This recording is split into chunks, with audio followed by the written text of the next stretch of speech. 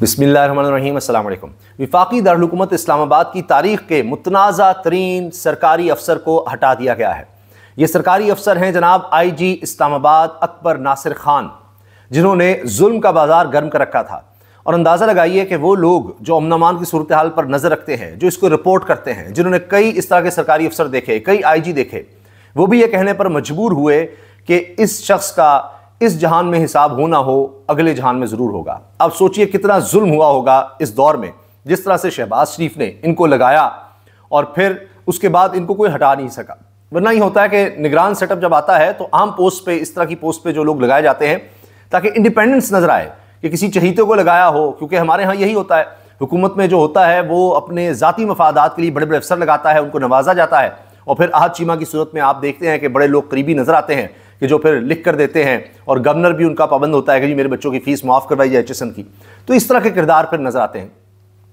अकबर नासिर खान पर तहरीक इंसाफ सबसे बड़ी जमात बनकर सामने आई। उसने एतराज़ किया।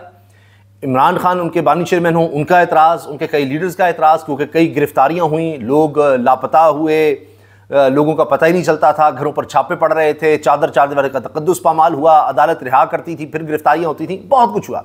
साफ़ी गिरफ़्तार हुए। इस्लामाबाद की तारीख में आप यकीन जानिए कि ऐसा दौर कभी नहीं आया होगा। एक वक्त था कि कहा जाता था कि विफाकी दारुल इस्लामाबाद की जो पुलिस है, वो बाकी मुल्क से थोड़ी बेहतर है। लेकिन सबसे ज़्यादा बदनाम होगी इनके दौर में इस्लामाबाद की पुलिस। और अमन मान की सूरत हाल क्राइम रेट, आप देखिए कहाँ से कहाँ चला गया, वो सब चीज़ें अलग से रिपोर्ट होती रहीं। अकबर नासिर खान को इलेक्शन कमीशन ने भी कहा कि इनको अहदे से हटाया जाए, लेकिन नहीं हटाया गया।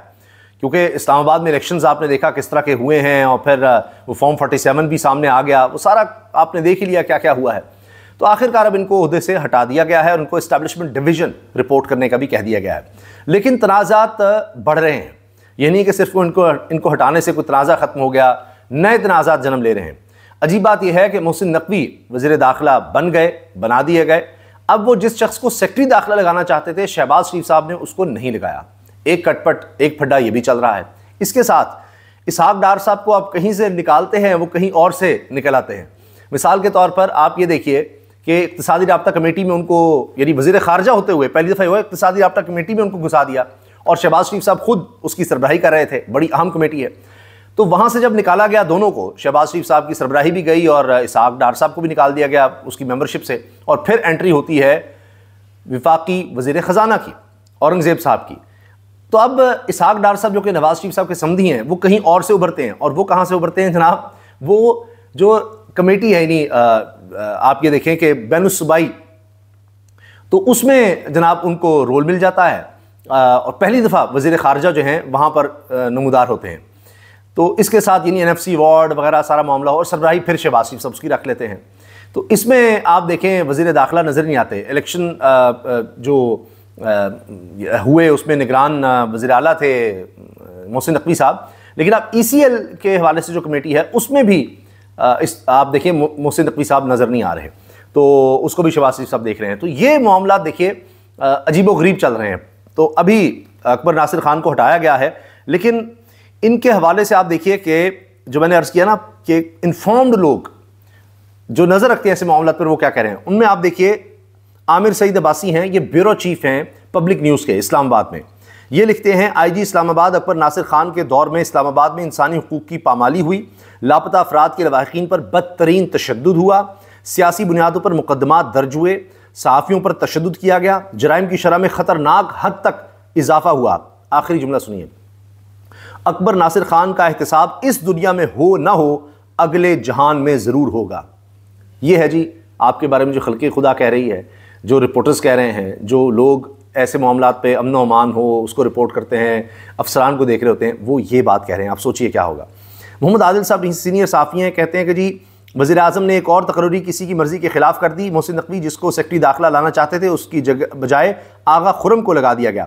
शहबाज शरीफ मुकाबला इस्टेबलिशमेंट ये भी मोहम्मद आदिल लिख रहे हैं, कमेटियों की तश्कील पर मरकज़ में दिलचस्प सूरत हाल ई सी एल कमेटी से वजी दाखिला और मुश्तर मफादात कौंसल से वजी ख़जाना को निकाल कर यानी वजी खजाना और ये दो अहम शख्सियात कही जाती हैं इस्टेब्लिशमेंट की तरफ़ से, मोहसिन नकवी और वजी ख़जाना। दोनों को साइड लाइन किया जा रहा है। अब वजी दाखिला की रिकमेंडेशन कुछ और थी, वहाँ से सेक्रेटरी दाखिला किसी और को लगाया गया। सरकारी अफसर और मुश्तरका मफदात कौंसल से पहली दफ़ा पाकिस्तान की तारीख में जी वज़ीर ख़जाना को निकाल कर वजी अजम ने अपना कंट्रोल बढ़ा दिया। शहबाज जैसे शख्स से ये कौन करवा रहा है? नवाज़ शरीफ साहब करवा रहे हैं तो उन इस आगडार को उसमें डाला जा रहा है जनाब। जो कि मुश्तरका मफदात कौंसिल है उसमें। अच्छा अब अकबर नासिर ख़ान का सुनिए।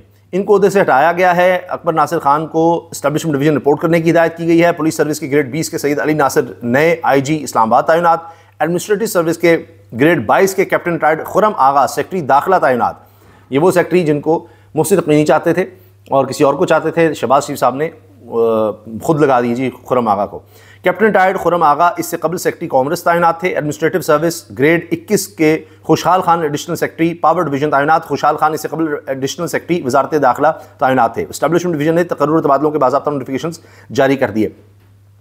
मैं चंद आपको सिर्फ़ चीज़ें गिनवाऊँ कि आपको याद होगा बाबर सत्तार साहब ने तोहन अदालत की कार्रवाई की थी डी सी इस्लामाबाद और एस पी के ख़िलाफ़। तो अब अब देखिए कि इनके अंडर होते हुए पुलिस क्या कर रही थी? अदालत के अहकाम की धजियाँ उड़ाई जा रही थी। शानदाना गुलजार साहिबा शहर अफरीदी उनका नज़रबंद होना, अदालत कहती जी गलत हुए, लेकिन इन्हीं आई जी को होते हुए जनाब सारे एम पी ओज जारी हो रहे हैं। किसी को अदालत रिहा करती थी, उसको फिर गिरफ़्तार कर लिया जाता था। दफ़ा एक सौ चवालीस ऐसे लग रही थी जैसे सेल लगी हुई है। तारीख में कभी इतनी दफ़ा एक सौ चवालीस इस्लामाबाद में नहीं लगी। और जब इमरान खान की कुपेशी है, इमरान खान निकलना है, कुछ भी होना है दफ़ा एक सौ चवालीस लगाओ और लोग सड़कों पर खड़े हैं। या फुटपाथ पर खड़े हों या कहीं जा रहे हैं, उनको पकड़ कर जनाब गिरफ़्तार कर लो, अंदर डाल दो। साफियों तक को नहीं छोड़ा गया।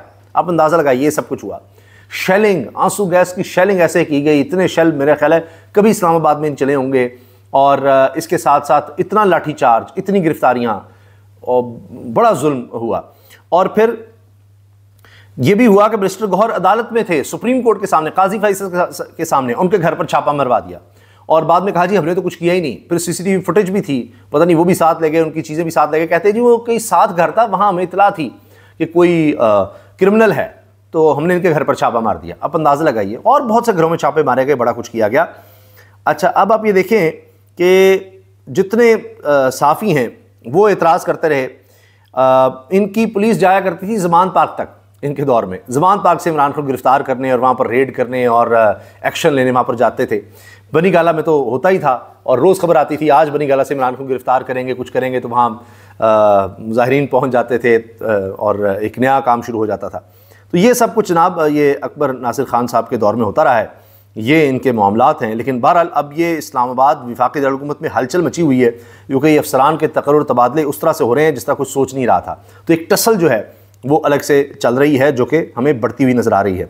बाकी साठ डार साहब का ज़िक्र हो रहा है तो उनके दिल में बड़ा प्यार जागा हुआ है भारत का और उसके साथ मामला अच्छे करने का, सीधे करने का तो अब इस आगडार साहब भी एक मुतनाज़ा शख्सियत बने हुए हैं इस वक्त। उनके हवाले से सुन लीजिए कि उन्होंने बतौर वज़ी ख़ारजा ने वज़ी अजम और गैर मुल्की सफ़ीरों को इफ्तार डिनर पर बुलाया। भारतीय सफारतकारों को भी दावत दी, लेकिन वो नहीं आए।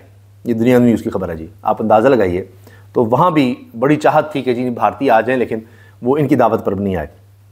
तो विफाक दारुकमत में जी अखाड़ पिछाड़ जारी जारी है। अभी देखिए और किस किस की बारी है? और ईद के बाद मैं आपसे अर्ज़ कर रहा हूँ, बहुत कुछ अभी होने जा रहा है। अल्लाह हाफ़